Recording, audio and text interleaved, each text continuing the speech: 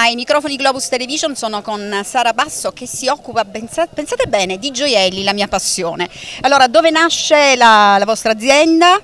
L'azienda di Bassano del Grappa è stata fondata dai miei genitori nel 1987, quindi quest'anno festeggiamo i 30 anni di produzione e lavoriamo solo ed esclusivamente l'oro, gioielli in oro. Che tipo di lavorazione?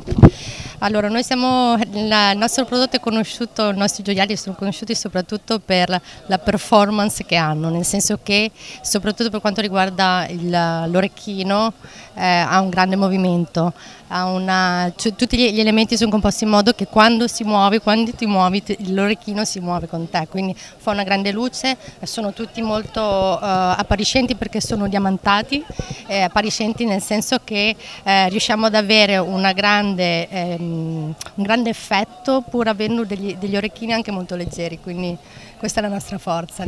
Stasera a Tao Moda sfilerete con dei gioielli? Sì, sfileremo con tre parure gli orecchini in primis, poi avremo una parure ehm, diciamo floreale e una parure invece um, un po' più eh, rigida, nel senso che è più vistosa, un po' più eh, nordica, è un collare molto alto, poi un bracciale dove c'è un grande effetto di luce.